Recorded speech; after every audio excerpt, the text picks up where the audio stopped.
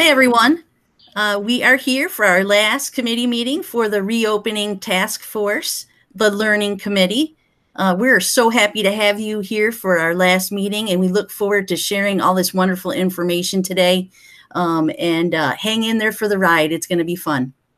It is. Thanks, Steph. Um, we started our work by acknowledging the fact that these past few months have been hard, really hard. Um, they were filled with uncertainty and anxiety and trauma for our kids and for our staff. Um, when schools closed, suddenly we all became first year teachers again. And literally each day we were fighting to take care of our kids and provide learning and simply just to survive the new context. Now we've had a chance to catch our breath, to reflect, research, collaborate, and we put together some resources that we're really hoping help you do more than survive. This next year, we want to thrive. And so, with the use of these resources, we hope that you feel equipped and inspired, and that they help you make sure that your days that you survive are far outnumbered by the days that you thrive.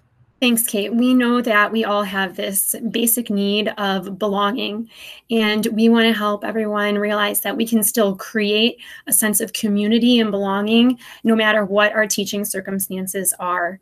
And how can we still greet our students on a daily basis, whether that be virtually or face to face? How can we still check in on them and see how they are doing just as we would as they walk into our rooms or enter into our Schoology courses?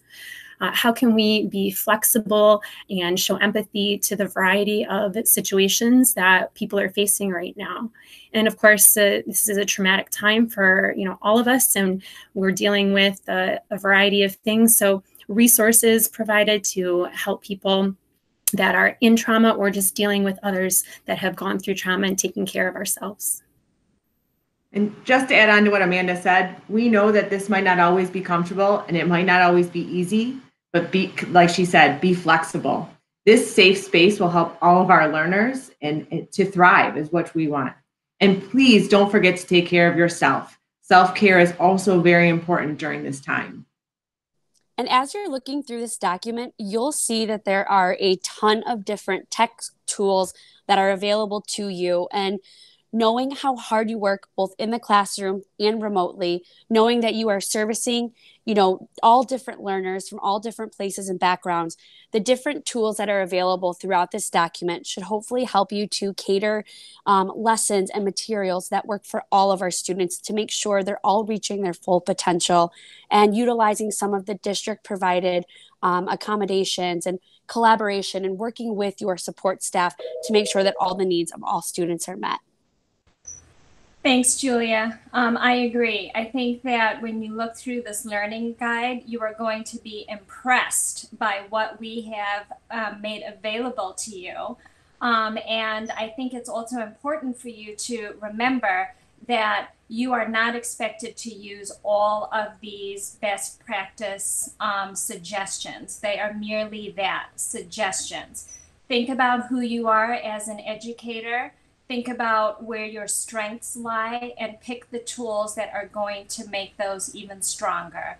That's going to be the best advice that I would give you as you're perusing this fantastic learning guide. Elementary teachers, we just want you to remember that regardless of structure, the emphasis continues to be on relationships, community, and belonging for all students. Plan to build courses in Schoology that look similar using a template for your grade level. And work closely with your grade level team and your support staff to ensure the needs of all students are being met. Don't worry, you'll have time and extra PD to learn all of these new things. And when you enter the document, you'll see links to research and online PD that will support you in navigating these different educational models. You'll also see details about what learning might look like in each of the three phases. Finally, you can look through the Schoology recommendations to help build your course and support your learning.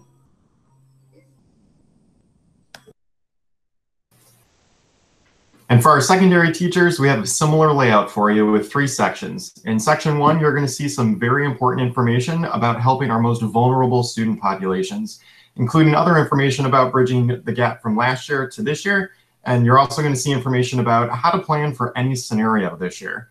The second part of this section is going to outline for us what it looks like to have online learning, hybrid learning, and face-to-face -face learning, as well as tips on how to balance so we can transition from one to the next as needed. The last part of this section is going to include all details relating to Schoology and how we can create a consistent experience for all of our teachers, students, and parents. Remember, everyone, we are in this together. This has truly been an inspiring journey of putting together this document. Uh, the professionals that have worked through this are, are above and beyond outstanding. So remember, as we join in this fall, we are going to be learning together and we're going to be doing this work together.